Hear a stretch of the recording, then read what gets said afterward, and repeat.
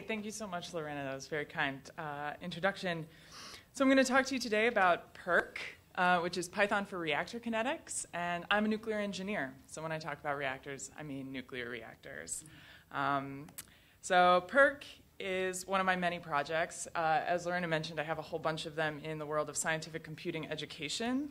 Um, I also have a couple in nuclear engineering that I contribute to, including the Cyclus code and the PyNE Python for Nuclear Engineering uh, library. But today I'm going to talk to you about PyRK, and this is its little logo, which I think is very clever. Um, so um, PyRK is Python for reactor kinetics. And since nuclear reactor kinetics is maybe not a fundamental domain, domain knowledge of most of you in here, we're going to go through a quick review of what nuclear reactor kinetics is. And then I will give you some very basic information about how the code is designed and quality controlled, what SciPy stuff I use in order to make that happen, and a very quick minimal example of a very simple reactor accident. Okay, so reactor kinetics. It all starts with fission. Nuclear reactors uh, are fissioning machines, and fission is when a neutron hits an atom and that atom splits apart, spitting out some energy, that's that little burst there, and some other neutrons. Um, we model this with probabilities. So the likelihood that this thing is going to happen is we're going to call a cross section. It's in units of area, but we won't go into it. It depends on a whole bunch of variables, and we call it sigma. Okay. And that cross section embeds a whole ton of physics. So um, you have elastic parts of that cross section, inelastic parts of that cross section. So those of you who are physicists are like, okay, so cross sections are the probabilistic black box of nuclear particle interactions. Okay. And more than one fission will happen after those secondary neutrons are spit out. So once the fission occurs, you have the first neutrons that come off of the initial fission. Those neutrons themselves can generate more fissions. And that's how you get the nuclear chain reaction. So in a reactor, electricity is made when the heat from this nuclear chain reaction warms up some water somewhere in the system, spins a turbine, and puts it into the lights. So we call this nuclear chain reaction stability K. Okay, so this is the um, this is a variable that you're just going to have to keep track of a little bit, and when it's one, the reactor is critical. So at the end of this chain reaction, a whole bunch of isotopes are produced. So this graph is uh, on the bottom axis, the um, isotopic number there, and on the y-axis, you have the percent of the, of the isotopes that are produced. And it's an interesting shape. It's not, um, it's not consistent. The halves are often one third and two thirds sized. Um, anyway, um, all of the isotopes in the periodic table um, are made in a nuclear chain reaction. And we're going to call the isotopes I. Okay. So, one other interesting fact is that once that isotope has been made out of the fission, so the, that piece of the isotope, that one of the, one of the two pieces that broke apart in the original fission. Um, once that's been made, sometimes uh, it's also unstable, and it kicks off what's called a delayed neutron.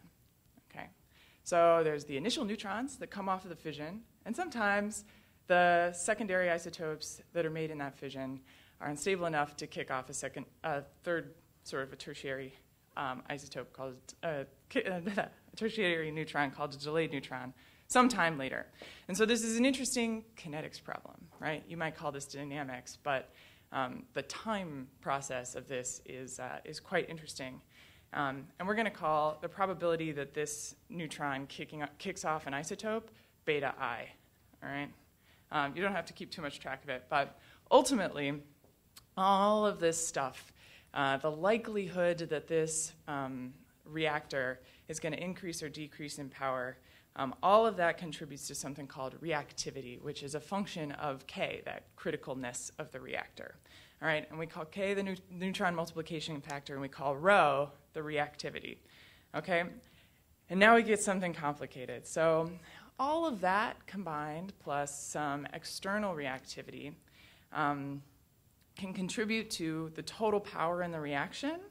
Um, with there's the base reactivity in a critical reactor, plus reactivity from feedback, and we're going to get into what that means, plus external reactivity, which might come from dropping a control rod or lifting one out. And that happens because different materials have different probabilities of fissions and different like distributions of the isotopes that come out of them and everything. So um, keep in mind that the, these become the key equations uh, in, the, in the later solution. So anyway, it all depends on temperatures, um, and it all feeds back. So reactivity over here feeds the neutron population, which is power, that K.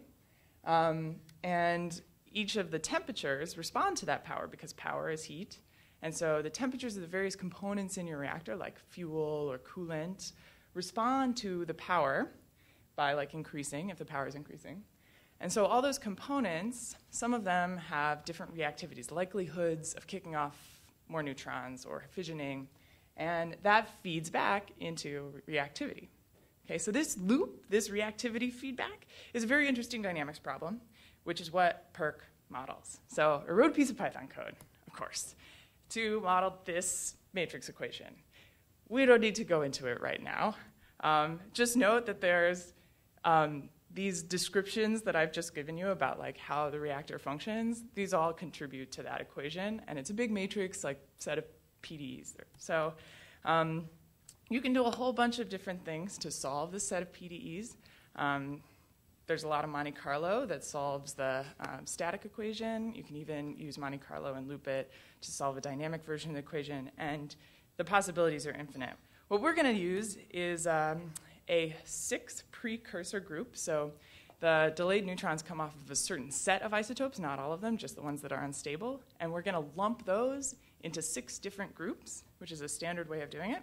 Um, and so we're going to model all the delayed neutrons as if they're coming from six groups of isotopes. And uh, 11 decay groups, so decay heat from fission, also comes from all the isotopes, but you can lump them by their decay properties into 11 distinct groups. And so we're going to do that. And we're going to model the thermal hydraulics of like how the temperatures respond to the power with a lumped parameter model, which is super simple, sort of 1D um, approximation similar to uh, a resistive circuit in electro in electrical engineering. And we're going to put it all into Python and use Python's object orientedness to make it easy to set up a simulation. So you can say, I want an object to represent the fuel and an object to represent the coolant.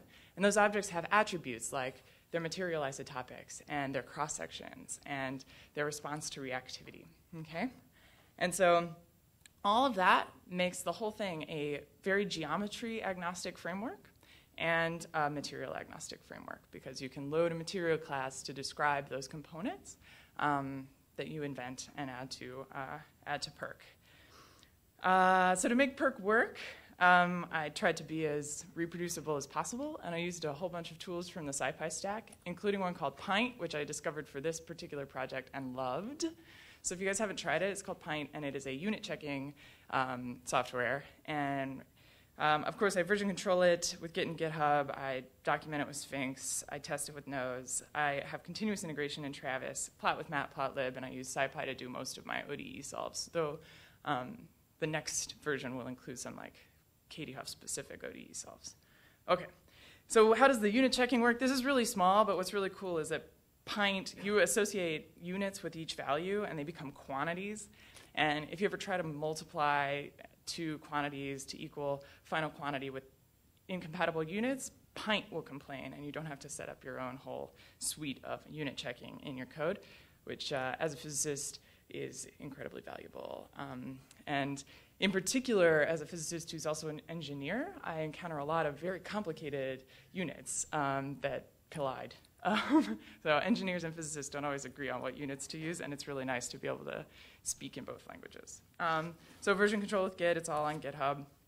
It's automatically do documented, so we have a little website. Um, we have a test suite, so as I was saying, I use Nose, and so I try to get some good coverage on my tests, but um, I'm the only developer right now, so I don't have as much uh, test coverage as I would like, so that's in my next version. We're currently in version 0.1, so uh, this is a super, super alpha version of this code. But um, and all of that is continuously integrated um, on Travis. Oh, this is the wrong picture, but you guys know what Travis looks like. Travis is a continuous integration server. Um, Right.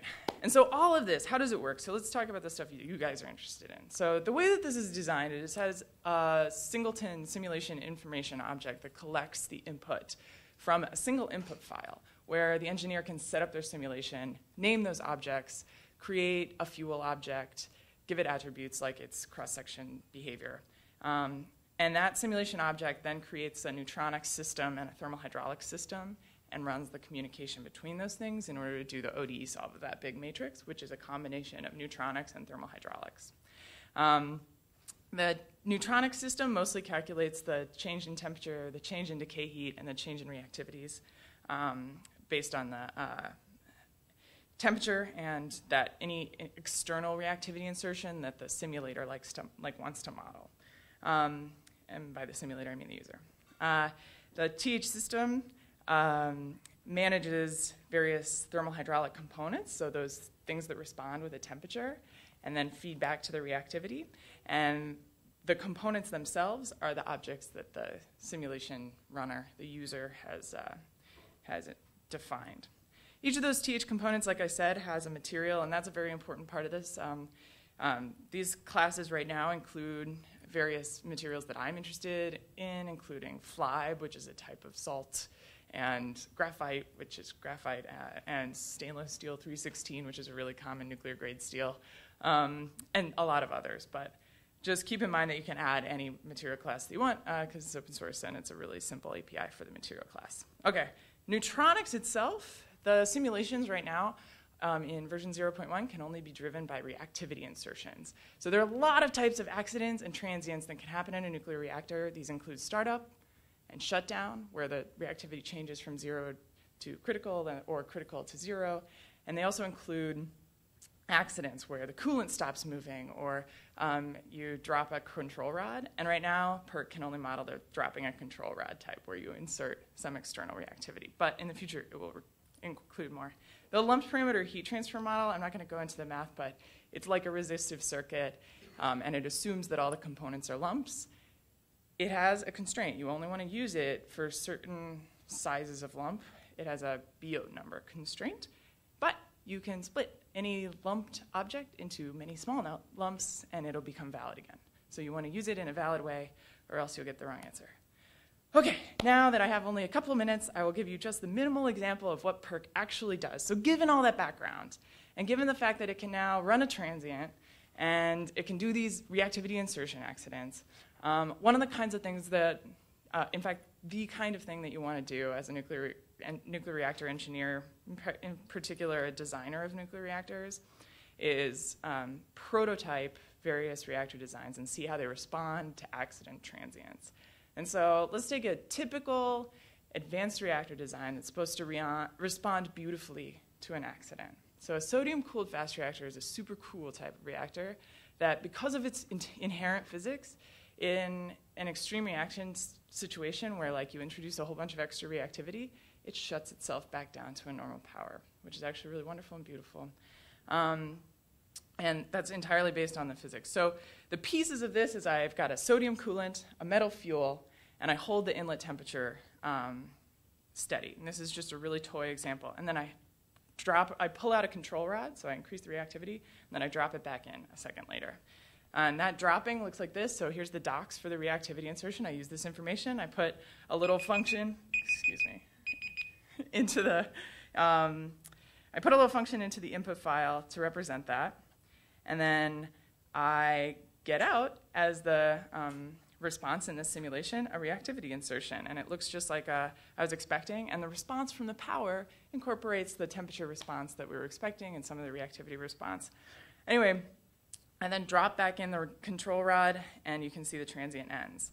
I add the components in this way. This is what the input file looks like when I add a fuel and a coolant and an inlet. I won't go into it, but that's all the stuff that an actual person needs to add in order to make this happen. And then they connect to the components with some heat transfer. And that's all the com commands that uh, someone needs to put in the input file. And what they get back out is they put in a reactivity insertion, and they get temperatures for each component that come up, like um, with some delay, and then come back down um, in order to model that transient. So that's all I had to show you. Uh, it's really short, and now you've learned a lot about nuclear reactors. And um, I have graduate student Xin Huang um, who is Per Peterson's graduate student, who I also work for, and uh, Professors Ehud Greenspan and Max Fratoni, who uh, have helped me with this. And I'm funded by many people.